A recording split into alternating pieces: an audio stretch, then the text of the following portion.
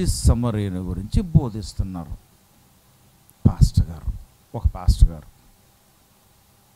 ఆయన రాడికల్గా చాలా రాడికల్గా మాట్లాడేవాడు. ఆయన దగ్గర నుండి ఏదో చిన్న నాకు ఒక ఇంపాక్ట్ అయింది తాకిడి అయింది కనుక ఆయన మీటింగ్లని చెప్తే వెళ్ళాను. దగ్గరే పిఠాపురం నుండి బెక్కబోలు అక్కడ ఆయన మంచి సమరేను గురించి ఉపమానమని చెబుతూ ఈ మంచి సమరేను గురించి చెప్తున్నప్పుడు ఆ మాటలు విడమర్చి చెప్తుంటే నన్ను చాలా ఆకర్షించింది. ఏంటి దేవుని మాట ఇలా ఉంటుందా అని. నాకు అప్పటి వరకు తెలియనటువంటి విషయం. నాకు ఎంత ఆకర్షణగా అనిపించిందో ఈ భాగం అన్నమాట. అదే నన్ను వాక్యము సంధించటం. ధర్మశాస్త్రపు ఉపదేశకుడు యస్సు ప్రభువుని నిత్య జీవానికి వారసుండగునట్లు నేను ఏం చేయను అంటే నీ పొరుగు వారిని ప్రేమింపవలను. నీకు తెలుసు కదా నువ్వు ధర్మశాస్త్రాన్ని ఉపదేశించేవాడివి. చెప్పు బాబు మరి ఏంటి సంగతి అని అడిగితే అతను అంటున్నాడు యేసుప్రభు అంటున్నారు నువ్వు బోధిస్తావు కదయ్యా నీకేం తెలుసు అంటే దేవుణ్ణి ప్రేమింపవలను. Very good. తర్వాత నిన్ను వలె నీ పొరుగువారిని ప్రేమింపవలను. పొరుగువారు ఎవరు అంటే పొరుగువారు ఎవరంటే అని చెప్పుకుంటూ మంచి సమరీను గురించి ఉపమానం చెప్పారు.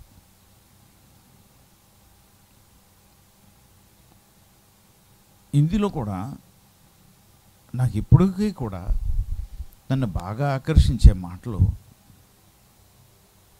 దేవుణ్ణి ప్రేమింపవలను నీ పొరుగువాన్ని ప్రేమింపవలను అలా కాదు.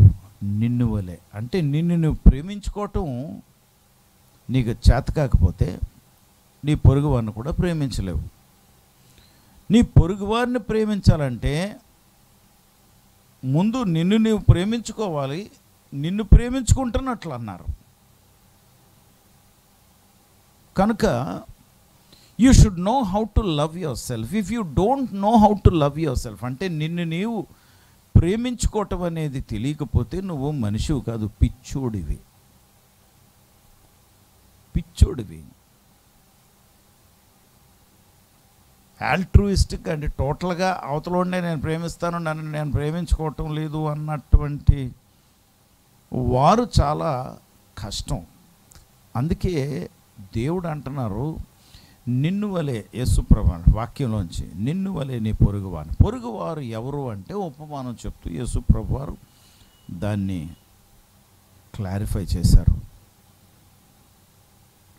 వాక్యాన్ని విడమర్చి చక్కగా అట్టిపండు ఒలిచినట్లు తినటం అంటే మొట్టమొదటిసారి నా ఆత్మ మెలకు కలిగింది కనుక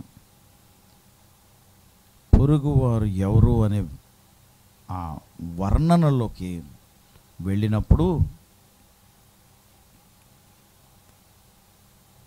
my spirit was on set on fire అండి. అంటే నా ఆత్మ వెలిగించబడ్డది. నా ఆత్మకి అప్పటి వరకు భోజనం లేని నా ఆత్మకి భోజనం పెట్టింది మేత పెట్టింది మన్నా కురిపించింది ఆ మాట. అందుకే నాకు బాగా ఇష్టమైన భాగం ఇది. సరే నేను ఆ రోజుల్లో విన్న మాట నేను చెప్తూ ఒక మాట దేవుడు నాకు ఇచ్చిన ఆలోచన మీతో చెప్తున్నాను. ఆ రోజు నేను విన్న మాటలు ఆయన చెప్పిన మాటలు ఇప్పటికీ నేను మర్చిపోలేనండి. ఇప్పటికీ కూడా నేను ఎన్నటికీ మర్చిపోలేను. ఎంత అద్భుతమైనటువంటి మాటలు చెప్పారు ఆయన. ఒక యవనస్తుడు ఎరుషులేము నుండి దిగి ఎరుకో పట్టణానికి వెళ్తున్నాడు. ఎరుషులేములో దేవాలయం ఉంది. దేవాలయాన్ని విడిచి ఎక్కడికి వెళ్తున్నాడు రా బాబు అంటే ఎరుకోకి. ఎందుకు దేవాలయాన్ని విడిచి వెళ్ళిపోతున్నాడు అంటే పాస్టర్ గారు దెబ్బలాడారు కనుక. కాదండి. ఎరుకోకి ఎందుకు వెళ్ దిగు దిగుతూ దిగిపోతున్నాడని ఉంటుంది. దేవుని సన్నిధిని విడిచి ఎరుకో అంటే లోకం. దిగి అంటే ఆత్మీయ జీవితం నుండి దిగిపోతున్నాడు. ఇవన్నీ ఆయన చెప్పలేదు కానీ నేను కలుపుతున్నాను వాటికి ఆలోచనలు. దేవుని ఆలోచనలు. దిగి వెళ్తున్నాడు. దేనికంటే డబ్బులుంటాయి. ఆ దిగు దిగు బాగాన్న ఎందుకంటే ఎరుకో చాలా ప్రసిద్ధిగాంచిన పట్టణం. చరిత్రగానే మనం చూస్తే ఎరుకో శాపగ్రస్తమైనటువంటి పట్టణం. ఎరుకో పెద్ద పెద్ద గోళ్ళు ఉండేవి. ఆ ఎరుకో చుట్టూ థిక్ వాల్స్. మీకు తెలుసు కదా? మీరందరూ వాక్యాలు బాగా చదువుకున్నవారు వింటున్నవారు మీకు తెలుసు. ఎరుకో చుట్టూ ఏముందంటే పెద్ద థిక్ చాలా ఒత్తుగా ఉన్నటువంటి గోడ. ఆ ఎరుకోలోకి ప్రవేశిస్తూ ఇజ్రాయేలు ప్రజలు చుట్టూ తిరిగారు. మౌనంగా తిరిగారు. ప్రదక్షిణం చేశారు. ఆఖరు మారు ఏం చేశారంటే దేవుడు చెప్పినట్లు ఏడు మార్లు తిరిగారు. తిరిగి అకస్మాత్తుగా ఏడో మారు తిరుగుతూ గట్టిగా కేకలు వేశారు. ఆ కేకలకి గోళ్ళ కూలిపోయాయి. అది స్థుతి ఆ స్థుతికి ఆటంకాలు తొలగిపోయాయి. ఈ ఎరుకో గోళ్ళు కూలిపోతేనే దేవుని ప్రజలు దేవుడిచ్చిన స్వాస్థ్యములోకి ప్రవేశించలేరు. కనుక ప్రవేశించేశారు. కాబట్టి కానాను దేశంలో భాగమైపోయింది. ఎరుకోలో దేవుని ప్రజలు యూదులు అందరూ ఉండ ఉన్నారు.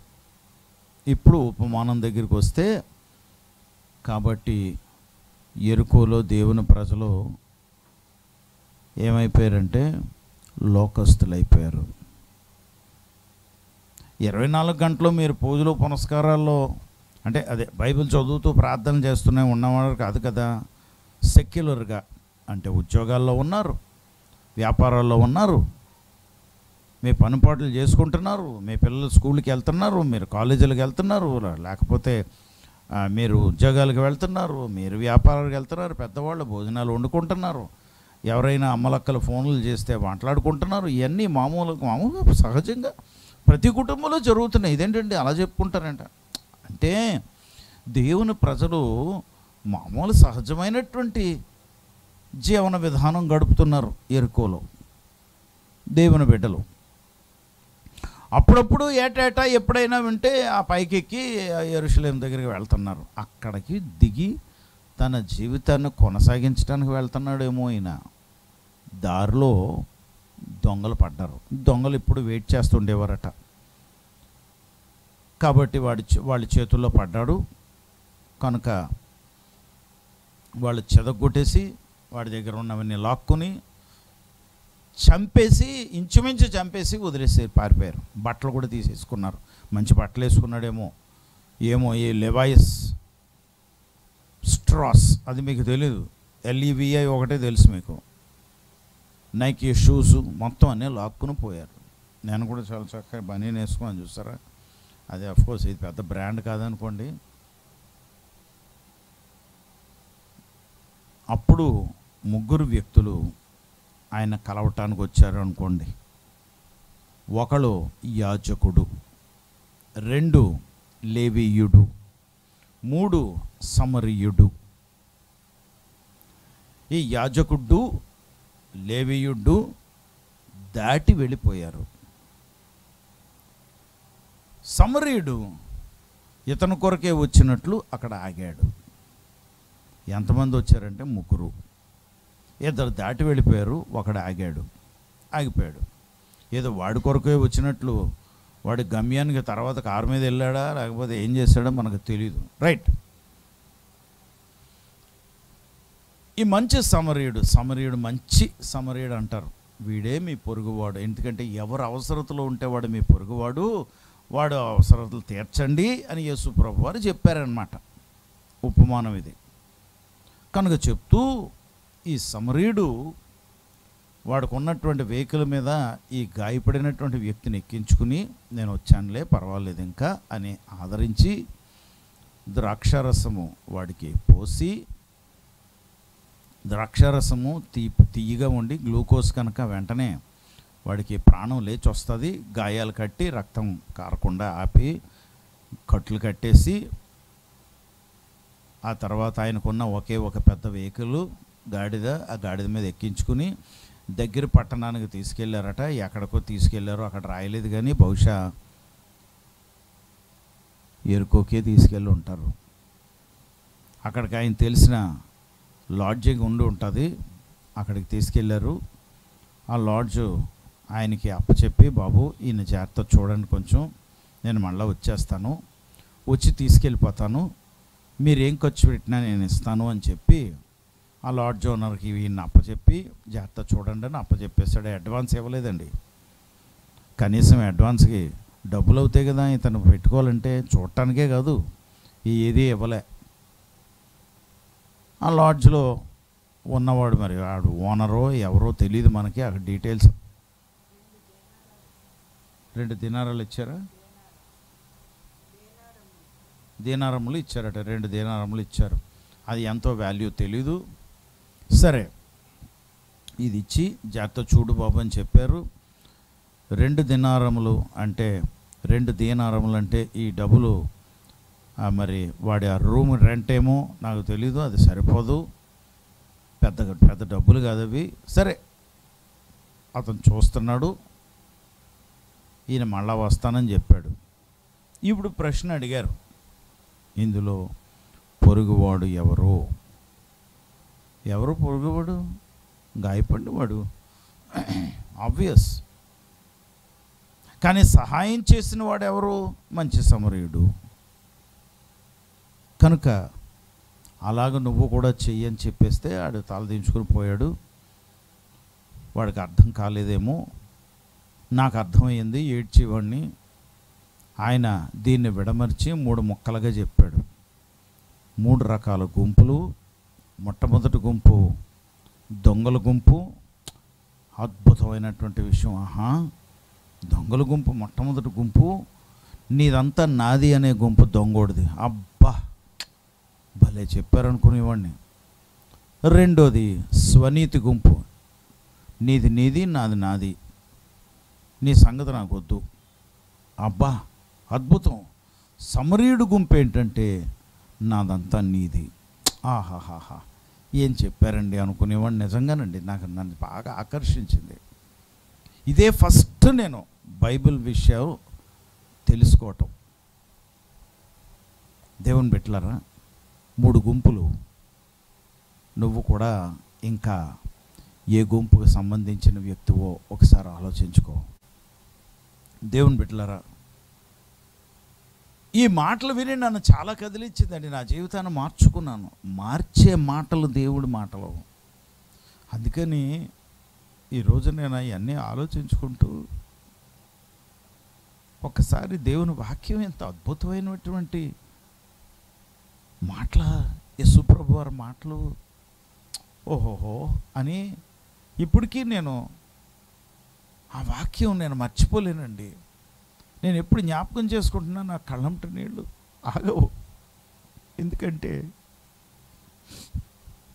ఒకప్పుడు నేను ఆ కొర ప్రాణంతో ఉన్నప్పుడు నన్ను పట్టించుకోలేదు ఎవడోని. ఎవడో పట్టించుకోలేదు.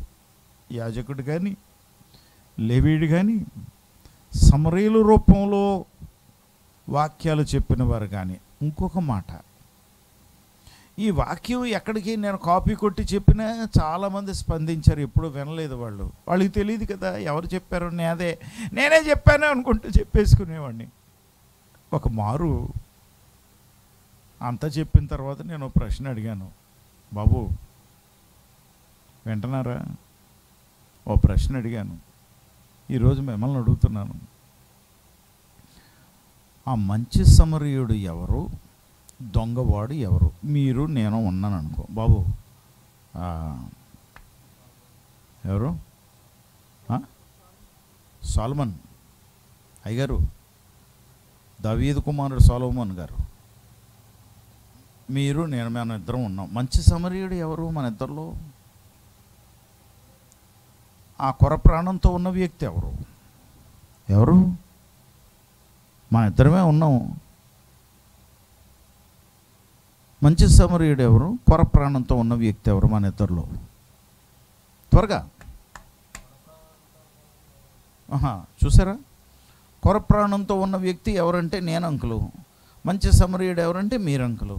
నేనంటాను నువ్వు మంచి సమరీయుడు అయ్యి నేను కొర ప్రాణంతో ఉన్న వ్యక్తిని అనుకో నువ్వు నీ దగ్గర ఉన్నది నాకు ఇస్తావా? నీ దగ్గర ఉన్నది. నీ బలము. నీ సామర్థ్యత. నీ వయసు. ఏమన్నా త్యాగం చేసి కొర ప్రాణంతో ఉన్న ఈ- వ్యక్తిని నువ్వు పట్టించుకోగలవా? పట్టించుకోవా? ఎంతసేపు నా దగ్గర ఉన్నది నువ్వు తీసుకోవాలనుకుంటావు కానీ నీ దగ్గర ఉన్నది నాకు ఇవ్వగలిగినటువంటి వాడు నువ్వని నువ్వెప్పుడూ నీ గురించి నువ్వు ఆలోచించవా? ఎంత విచిత్రంగా చూస్తారో దేవుని వాక్ వాక్కు? దేవుని మాట అందుకే వాడిగలిగిన రెండంచులు గల ఖడ్గము కోసుకుపోతుంది. అందుకే ఇప్పుడు కోసుకుంటుంది నీకు గుచ్చుకుంటాం. చూసావా? అమ్మ తల్లులు పాస్టర్ గారు మంచి సమరయుడు. మీరు కొరప్రాణంతో ఉన్నవాళ్ళు ఎప్పుడూ కూడా వీడి దగ్గర కొడదాం లేకపోతే వీడి దగ్గర తీసుకెళ్దామని నా దగ్గర తీసుకెళ్ళిపోతున్నారే? నాకు ఇచ్చేవారు మీరు ఇవ్వగలిగిన వారు మీరు పుచ్చుకునేవాడిని నేను అని నేను ఎందుకు అనుకోకూడదు? మీరెందుకు అనుకోకూడదు? ఇంకొక విషయం ఇది చెప్పి నేను ముగిస్తాను. ప్రియమైనటువంటి దేవుని బిడ్డలారా మూడు రకాల వ్యక్తులు ఉన్నారు ఒకడు కొర ప్రాణంతో ఉన్నవాడు. ప్రయాణికులు ఈ ముగ్గురు ప్రయాణికులే. ఒకడు ప్రయాణం చేస్తూ దొంగల గుంపులో చిక్కుకున్నటువంటి వాడు ప్రయాణం చేస్తూ వెళ్ళాడు. రెండో గుంపులో భక్తుల గుంపు. భక్తుల గుంపు. వారు ప్రయాణంలో ఉన్నారు. మూడో గుంపులో సమరీయుడు గుంపు. ఆయన ప్రయాణంలో ఉన్నాడు. ఈ ముగ్గురు ప్రయాణంలో ఉంటే అదే మార్గంలో దొంగలు ఉన్నప్పుడు ఆ ఒక్క వ్యక్తిని పట్టుకున్నారు మిగతా ఇద్దరిని గురించి ఏమీ చెప్పలేదేంటి? దొంగలు ఆ రోడ్లో ఉంటే ఆ మార్గంలో ఉంటే మిగతా వాళ్ళ మీద పడలేదేంటి? ఈడు కొర ప్రాణంతో ఉన్నప్పుడు వాళ్ళ మీదకి వచ్చాను చెదగొట్టెను ఉన్నదంతా ఎత్తుకుపోయాను అని రాయబడలేదేంటి? మంచి సమరయుడి దగ్గర ఉన్నటువంటి ద్రాక్షరసము కొంచెం మత్తుగా ఉంటుందని మంచి సమరయుడిని కూడా కొట్టేసి ఎత్తుకుపోయారని రాయబడలేదేంటి? దొంగలు అక్కడనే పట్టుకున్నారా? అయ్యో. అంటే దొంగలకు కావలసింది ఈ కొర ప్రాణంతో ఉన్నటువంటి అతని దగ్గర ఉన్నదన్నమాట. అతను అతను కొడితేనే కానీ అది ఇవ్వడనమాట ఆహా ఏంటి? అతని దగ్గర ఉన్నది దొంగలు తీసుకువెళ్ళాలంటే అతన్ని చంపాలి అతను కొట్టాలి అది తీసుకు తీసుకెళ్ళిపోవాలి. దొంగలకి కావలసింది యాజకుల దగ్గరికి లేదు. దొంగలకి కావలసింది లేవీయుల దగ్గర లేదు. దొంగలకి కావలసింది సమరయుడి దగ్గర లేదు. ఒకడి దగ్గర ఉంది. వాడెవడంటే ఆ వ్యక్తి ఒకడు అది ఏంటి అంటే యాజకులు లేవీల దగ్గర దేవుని వాక్యం ఉంది. అది దొంగలకు అవసరం లేదు. సమరయుడి దగ్గర ప్రేమ ఉంది కనుక అది అక్కర్లేదు. అది అక్కర్లేదు. దొంగలకి ఎందుకంటే అవి? వాళ్ళకి కావలసింది ఏంటంటే అతని దగ్గర ఉన్నటువంటి ద్రవ్యము అతని దగ్గర ఉన్నటువంటి బంగారము. అతని దగ్గర ఉన్నటువంటి క్రెడిట్ కార్డులు కాదు కావాల్సింది. What he needs what he what they need is currency he has abundant amount of that చాలా పుష్కలంగా అది ఉన్నది. అందుకే అతన్ని కొట్టారు కానీ మిగతా వాళ్ళ దగ్గర వాళ్ళకి కావలసింది. అందుకే దొంగలు కొట్టనిది నీ దగ్గర ఉండాలంటే దేవుని వాక్యం దేవుని సన్నిధి. హాలల్లోయ. దొంగోడి దగ్గర కొట్టేసుకున్నారు. క్షమించండి. ఆ ఒక్క వ్యక్తి దగ్గర ఉన్నది కొట్టేశారు. తీసుకెళ్ళిపోయారు. ఇంకా ఎవరు ఎలాంటి వాళ్ళు వచ్చినా దొంగలకు అవసరమైంది లేదు కనుక దొంగలు ఏం చేయలేకపోయారు. నీ దగ్గర ఉన్న దేవుని వాక్యం ప్రార్థన ఆత్మీయతను దొంగోడు కూడా ఏం చేయలేడు. ఇంతకీ దొంగలు ఎవరు? దొంగలు ఎవరు? దొంగల గుంపు. ఈ దొంగ వాళ్ళు ఎవరు అంటే సాతాండు ఆది నుండి గజ దొంగ. ఆది నుండి దొంగవాడు. వాడిది కానిది దొంగలించేవాడు వాడు ఒక్కడే. దేవునికి మహిమ కలుగును గాక ఈ లోకం వాడిది కాదు. ఈ లోకం అంతా మనదే.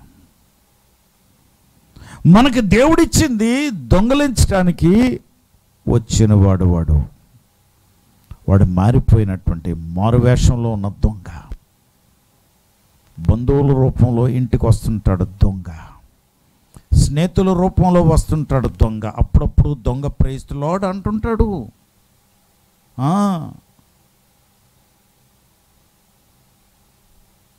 అప్పుడప్పుడు నిన్ను మమ్మీ డాడీ అంకులు పాస్టర్ గారు అని పిలుస్తుంటాడు. లేకపోతే పిలుస్తుంటుంది. ఈ దొంగలు ఎంతసేపు సాతాండు చేతిలో బందీలుగా వాడబడుతున్నటువంటి దొంగల గుంపులో ఉన్నవారు. అలీబాబా నలభై దొంగల లాంటి కథ లాంటిది ఇది. అలీబాబా ఎవడంటే ఆ సాతాండు విడిగో వాడి దగ్గర ఉన్న వాళ్ళు ఆ నలభై మందిలో ఎవరంటే ఏమో నువ్వు ఉన్నావేమో జాగ్రత్త చూసుకో. ఇంకొక విషయం దొంగలు కొట్టింది ఆ ఒక్క వ్యక్తిని మిగతా వాళ్ళని కొట్టలే ముట్టలే.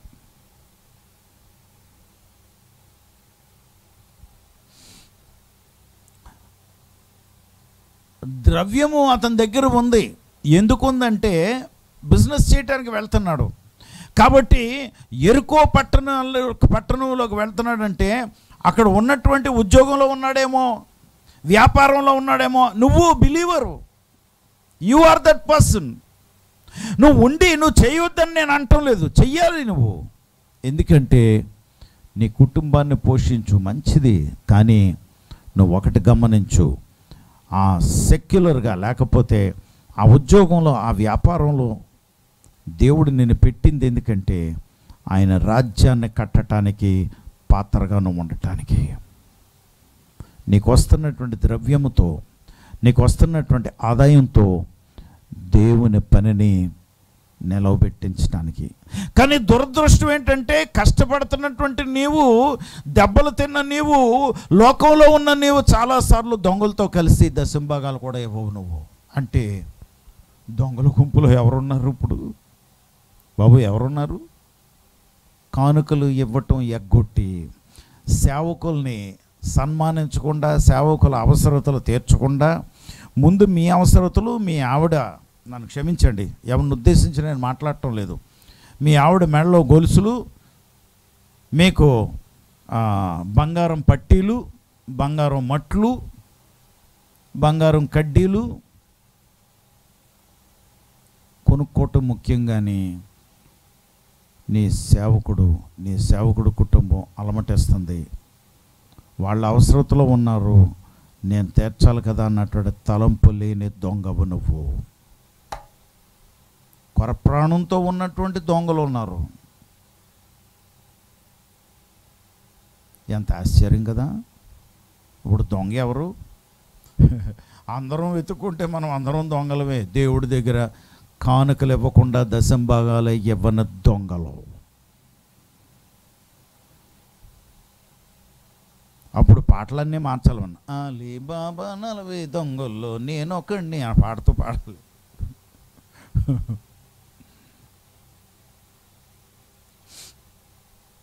దేవుని బిడ్డలరా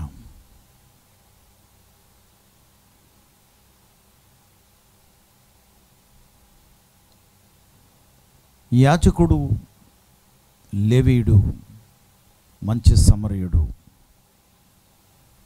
ముగ్గురులో ఈ ముగ్గురు ఉన్నటువంటి గుంపుని దొంగ మొట్టలేకపోయాడు. దొంగలు మొట్టలేకపోయాడు కానీ మనం చేయగలిగింది చేయవలసింది పొడి పొడి భక్తి పై పై భక్తి చేస్తున్నాం కానీ మన జీవితాల్లో లోతు లేనటువంటి వారుగా ఉంటున్నాం.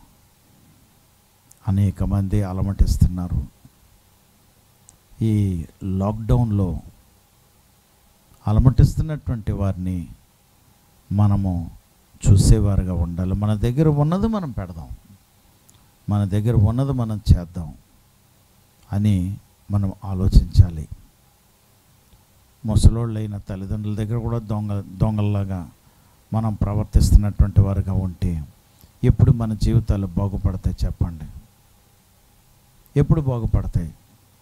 అందుకే ఒక మార్పు కలగాలి. మనమందరము కూడా మంచి సమరీలుగా తయారై మనము చక్కటి వారుగా చక్కటి జీవితాలు కలిగి సంతోషంగా మనము జీవించాలి. ఆఖరువుగా యేసు ప్రభు వారు మంచి సమరీయుడైతే అయితే కాదు మంచి సమరీయుడు కనుక ఆయన అంటున్నాడు నేను మరలా వస్తున్నాను. అప్పుడు నువ్వు కష్టపడ్డదంతా నేను ఇస్తాను. నా గుంపు సేవకుల గుంపు. నాకేంటి ఇందులోని? నేను పెళ్ళి చేస్తాను నాకు ఎంత ఇస్తావు? నేను సమాధి చేస్తాను నాకు ఎంత ఇస్తావు? సమాధికి ఎంత పెళ్ళికి ఎంత ఈ దానికి ఎంత దీనికి అంత? మేము ఇవన్నీ కూడా ఆయన మాకు కూలిస్తాడు. ఆ కూలి పని ఎప్పుడు? ఆయన రాకడలో. ఆయన రాబోతున్నాడు. ఎంత కష్టపడినా ఏం చేసినా ఏది వ్యర్థం కాదు. మాకు ఇవ్వబోతున్నాడు జీతం. ఆ జీతం కొరకు పనిచేయటం లేదు కానీ ఆయన ఇస్తానన్నాడు నమ్మదగిన వాడు అందుకే ఆయన అప్పచెప్పిన పని కనుక ఆయన అప్పచెప్పినటువంటి పనిలో మేము నమ్మకంగా ఉండటానికి ప్రయత్నిస్తున్నాం. మమ్మల్ని పోషించే బాధ్యత మీకు పెట్టారు. అందుకే మిమ్మల్ని లోకంలో ఉద్యోగస్తులు లోకంలో వ్యాపారస్తులుగా మిమ్మల్ని పెట్టారు. మీకు గాయాలు తగిలినప్పుడు ఈ జీవితంలో మిమ్మల్ని కట్టడానికి ఆ గాయాలను కట్టడానికి మిమ్మల్ని మిమ్మల్ని స్వస్థపరచడానికి బాగు చేయటానికి మాకు బాధ్యతను చెప్పారు. కానీ చాలా మార్లు మేము కూడా దొంగల గుంపులో ఏకమైపోయి మిమ్మల్ని గాయపరుస్తున్నాం. దేవుడు నన్ను ప్రత్యేకంగా నన్ను క్షమించను గాక. చాలా ఈ పనిలో సాధారణమైన పని కాదు. దగ్గరికి వచ్చి అయ్యో గాయమైందంటే తన్నే పరిస్థితిలో మీరున్నారు తంతున్నారు. నన్ను తన్ని తరిమేసి నన్ను ధిక్కరించి వెళ్ళిపోయినటువంటి వాళ్ళు ఉన్నారు. వాళ్ళని ఆశీర్వదించమని నేను ప్రార్థన చేయాలి. నేను చేస్తాను. నా బాధ్యత అది కనుక. ఈరోజు ఎవరైనా సరే వాళ్ళు ఎలాంటి వారైనా సరే దేవుడు నాకు అప్పచెప్పినటువంటి పనిని బట్టి నేను చేస్తున్నాను కనుక నాకు కూలి ఆయన ఇస్తాడని నమ్ముతూ ఆయన మీద ఆధారపడుతూ తప్పకుండా దేవుడు మిమ్మల్ని ఆశీర్వదించాలని నేను కోరుకుంటూ ప్రార్థన చేస్తున్నాను ప్రార్థనతో ముగిస్తున్నాను. పరిశుద్ధుడా ప్రభ నీకు వందనాలు స్తోత్రాలు. అద్భుతమైనటువంటి ఈ ఉపమానము నుండి కొన్ని మాటలు మాకు ఇచ్చినందుకు మీకు వందనాలు. నాయనా నీ వాక్యం గొప్పది బాబు. అందుకే ఇందులో మర్మాలు లోతులు నాకేం తెలీదు. నాకు అర్థమైంది. నేను అన్వయించుకుంటూ నాకు అర్థమైంది నేను పాటించుకుంటూ నాకు అర్థమైంది నేను నెమరు వేసుకుంటూ సంతోషంగా ప్రభా నీ వాక్యం ఇంకా చదవాలని వినాలని ఇంకా అర్థం చేసుకోవటానికి ప్రయత్నంలో మీ దగ్గరికి వచ్చి నేర్చుకోవాలని నేను ప్రార్థన చేస్తున్నాను. నీ బిడ్డలను నాయన నువ్వు బలపరచడానికి సహాయం చేయమని నీ చేతులకి నీ బిడ్డలను అప్పచెప్పుకుంటూ చాలాసార్లు నేను కూడా నీ బిడ్డల మీద నాకు అప్పచెప్పినటువంటి బాధ్యతను నేను నిర్వహించకుండా భారం పెట్టి మాటలు అని గాయపరుస్తున్నాడు. నన్ను క్షమించండి ప్రభా. నాకు అప్పచెప్పి కాపరగా కాయమని అంతేగాని ప్రభువుగా ప్రభుత్వం చేయమని కాదు. కనుక నన్ను క్షమించండి. సభాముఖంగా నైనా నీ గొర్రెలు ఎదురకుండా నేను అడుగుతున్నాను. నన్ను క్షమించమని నాకు చేత కావటం లేదు. నాకు నేర్పించమని నీ నామానికి మహిమ తెచ్చుకోమని మా ప్రభు రక్షకుడు యేసుక్రీస్తు వారి నామంలో ప్రార్థించి వేడుకొంచున్నాం తండ్రి. ఆమె పరమ తండ్రిని దేవుని ప్రేమ కుమారుడైన యేసుక్రీస్తు వారికి కృప పరిశుద్ధాత్మ దేవుని యొక్క నిత్య సహవాసము ఆదరణ నింపుదల నడిపింపు ఇక్కడున్న మనకును సకల పరిశుద్ధులకు సదాకాలము తోడయుండి నడిపించును గాక ఆమె యస్సు రక్తమే జయం సెలవు రక్తమే జయం. యస్సు నామంలో సంపూర్ణ విజయం కలుగునగాక. ఆమెన్.